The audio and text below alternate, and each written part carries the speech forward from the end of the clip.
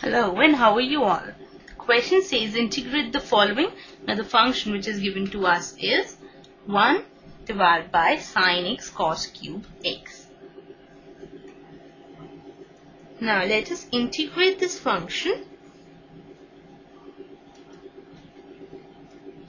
with respect to dx.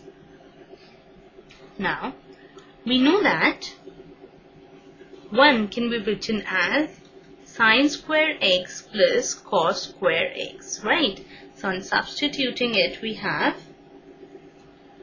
sine square x plus cos square x divided by sine x cos cube x into dx.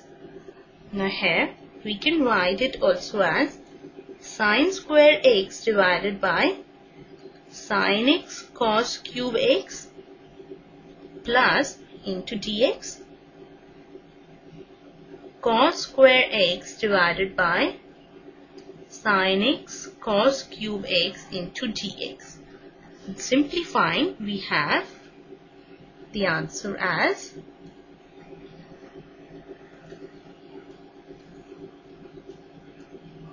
sin x divided by cos cube x dx plus 1 over sin x cos x dx.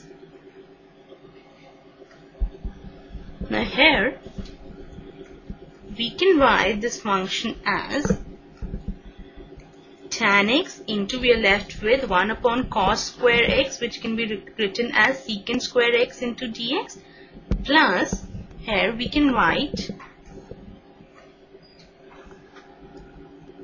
secant square x divided by tan x into dx.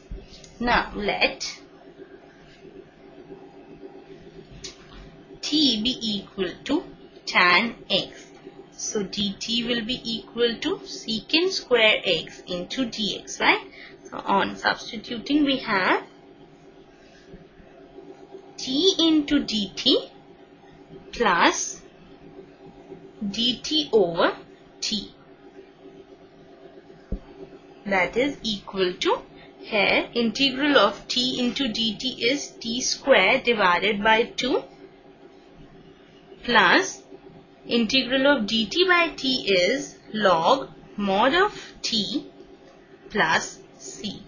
Now on substituting the value of t as tan x, we have tan square x divided by 2